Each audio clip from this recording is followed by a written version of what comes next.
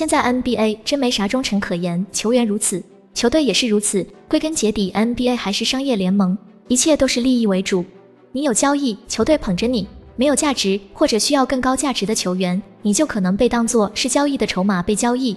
但是 NBA 现役也有非卖品球员，除非是球队老板疯了，若不然不会交易他们。今天这五人就是如此。东契奇肯定不会交易，独行侠未来就靠他，因为在年轻球员里真没有比他更适合独行侠。持球大和打法，数据漂亮，带队也有保障。至于欧文，那肯定是辅助东契奇，球队当家球星还是东契奇。他还年轻，未来还有无限可能，颜值高，粉丝也多，商业价值也不断提升。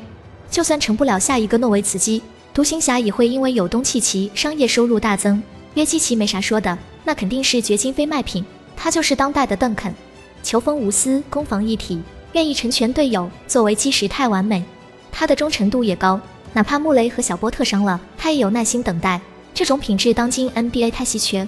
他已经帮助球队夺冠，年纪又是当打之年，只要约基奇不伤，未来三至五年掘金都是夺冠热门。交易他等于是自毁前程。字母哥有人质疑他打球脏，但是没人质疑他菜，实力绝对是有目共睹。他已经帮助雄鹿夺冠，自己也是荣誉收割。近几年在联盟影响力越来越大，他的身体在这个时代。确实优势明显，没有投篮一样大杀四方，健康度够，年纪也正好，有了字母哥，雄鹿还有望夺冠。除了他，真没有人比他更适合雄鹿的球星。库里已经在巅峰尾巴了，但是勇士没有动过交易他的念头。他为勇士带来四冠，球队市值涨了几十亿美金，就这两点，他就是非卖品。他的影响力不局限于球队，在整个城市他都是英雄。如果敢把库里这样英雄一般球星交易，勇士队肯定会遭到媒体和球迷的口诛笔伐。